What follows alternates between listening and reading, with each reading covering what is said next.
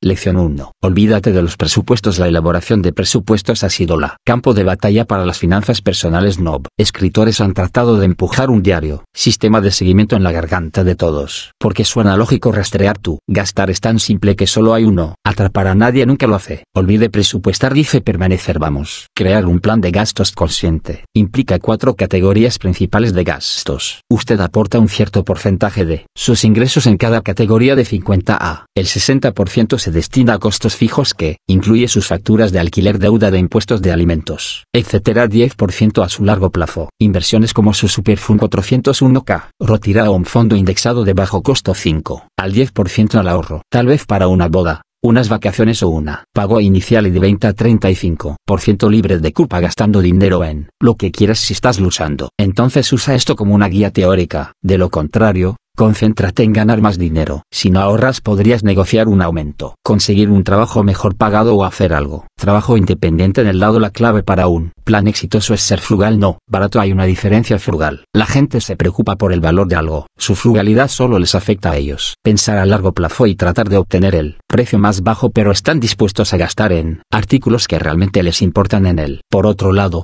la gente barata se preocupa por el costo de algo que afecta la baratura. Los que les rodean piensan a corto plazo, y no son razonables y no pueden entender por qué no pueden conseguir algo gratis. Los investigadores de The Millionaire Next Door encontró que el 50% de la encuesta de los mil millonarios nunca he pagado más de 400 dólares por un traje o 235 dólares por una lección de reloj, para que sus cuentas funcionen juntas. Automáticamente al pasar unas horas por adelantado puedes ahorrar cantidades ridículas. De tiempo a largo plazo aquí se explica cómo automatice su plan de gastos consciente. Reclamos remotos que solo tienes que dedicar apenas tres horas al mes a administrar su dinero una vez que esto esté listo y corriendo necesitarás un salario un corriente, cuenta una cuenta de ahorros y una tarjeta de crédito. Empecemos con tu salario. Supongamos que esto es 100 mil dólares el 100% de su ingresos incluso antes de que te paguen 5% de esto debería ser automáticamente. Poner en su superfondo en la primera día del mes puede configurar esto por, hablando con su empleador, el ingreso restante se transfiere a su cuenta corriente para el quinto de el mes en que instalamos una automática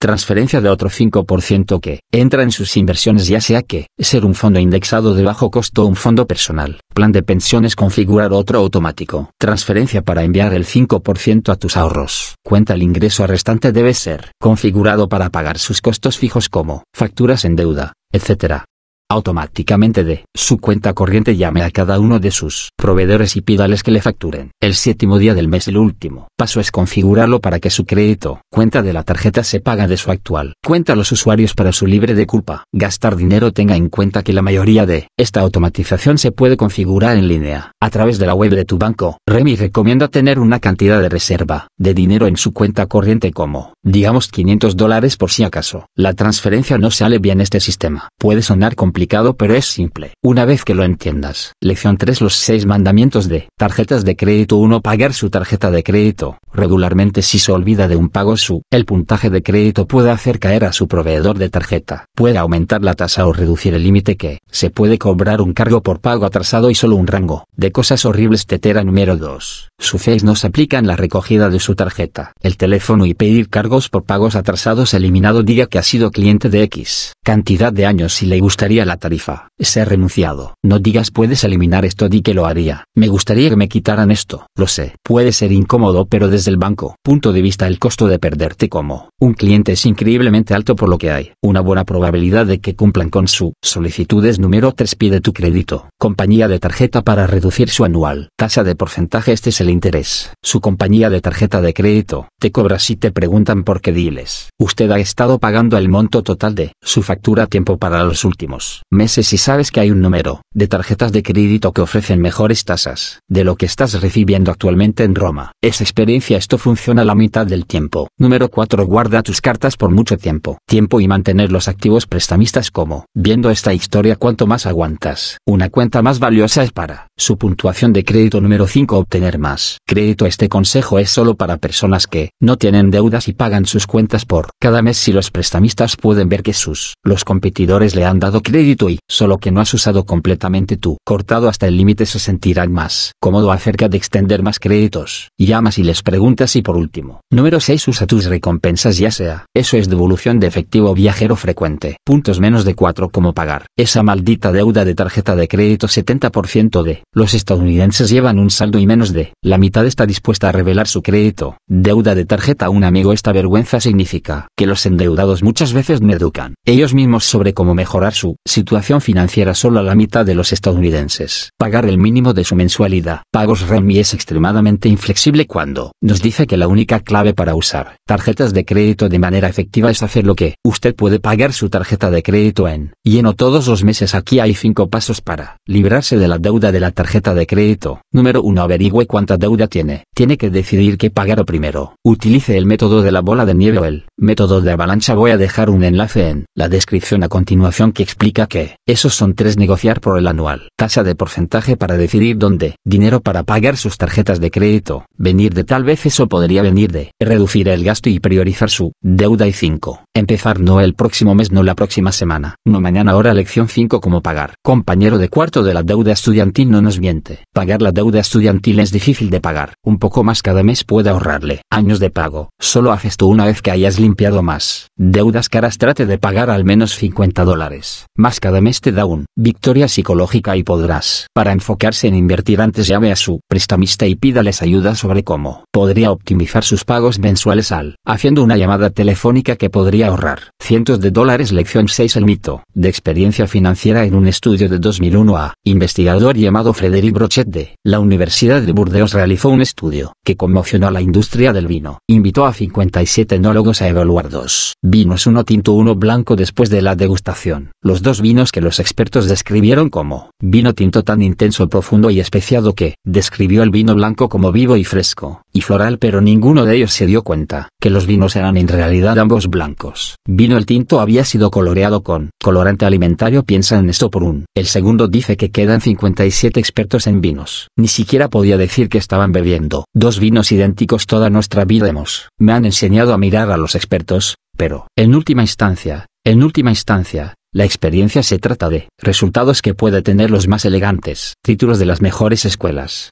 pero si no puedes producir todos los resultados que tú, la experiencia no tiene sentido cualquier financiero experto que intenta predecirla. Mercado a menudo no son mejores que los aficionados. No se puede predecir el futuro solo, porque un administrador de fondos te consiguió un 80%. Regresar este año no significa que pueda. El próximo año los expertos pueden mostrar su buen resultados pero dejar de lado los malos. Esto se conoce como sesgo de supervivencia y, por todo esto tienes que pagar su tarifas exorbitantes ahora para la final. Lección una vida rica no se trata solo de dinero. Remy nos insta a hacer dos críticas. Preguntas por qué quieres ser rico y qué significa ser rico para ti. ¿Cuál es tu respuesta? Déjala en el comentarios abajo. Para resumir lo que aprendimos, olvídate de los presupuestos y haz un plan de gastos consciente. En cambio, cómo automatizar nuestro banco, cuentas los seis mandamientos del crédito, tarjetas como pagar la deuda el Mayford, experiencia financiera y una vida rica. No se trata solo de dinero.